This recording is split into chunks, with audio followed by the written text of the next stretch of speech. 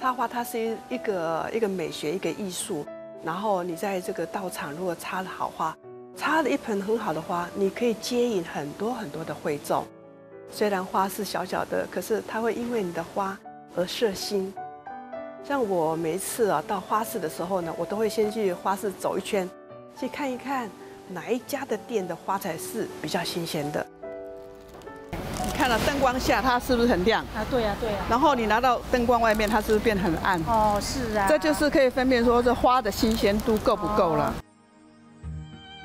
那七月吉祥叶呢，它就是一个一个比较吉祥安定的一个一个活动。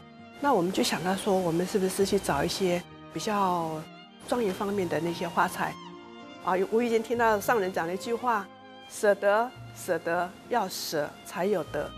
做人跟插花一样的道理，一定要舍得，一定要修，啊，你才能够插出一束漂亮而且让人家感觉赏心悦目的花。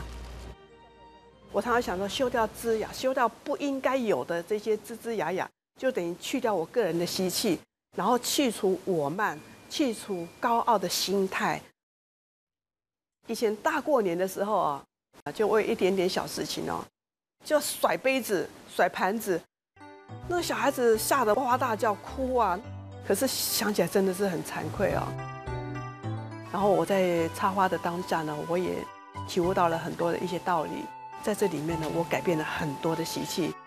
我一直说，妈妈去做慈济之后，她变得很快乐。她喜欢妈妈天天去做慈济。